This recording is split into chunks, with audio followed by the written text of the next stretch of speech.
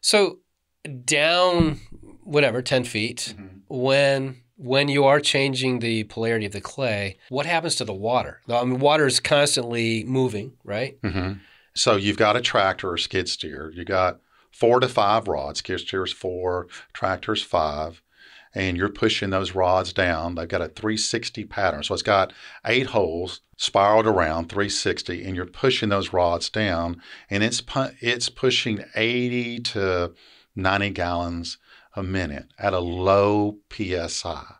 So we're not shooting a 1500 psi. It's about 200, 250. Tops would be 300. So you're not fracking. You're just what that soil will do is just start sucking in that water, Roger. you know, and then that's where you get your heave. That's what you want it to do. So once you've got it to its potential vertical rise, which is usually one pass. We can usually do it in one pass. If it's 105 out, you know, and it's been baking in the Texas sun for, you know, a couple of months, then you may have to do two water passes because it's so dry. But once we get that process done, which is usually a day, a day and a half, then we come back with water and chemical, and we're putting that dilution ratio in the ground because it's already pre-swelled, and we're getting that that mixture, that stabilizer in between those clay platelets to take that negative charge out of the clay.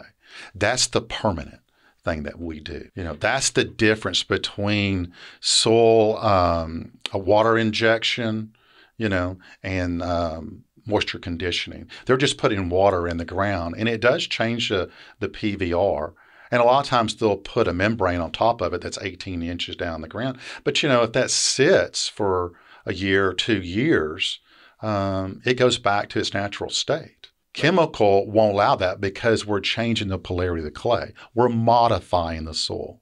So what I'm hearing you say is that uh, another type of soil stabilization is just injecting water in yes. to you're forcing the clay to expand. Take water in. Yes. Got to its maximum. To its maximum. Um, yeah. And then, but then what you're also saying is that what you're doing differently is the chemical is actually making that permanent because after the clay is expanded, it's not going to take in any more water, right?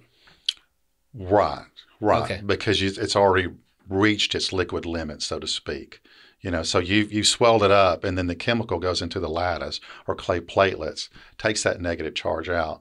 So what you're doing is you're taking the heavy bond of water that goes in between those clay platelets, right? That's where you get your heave.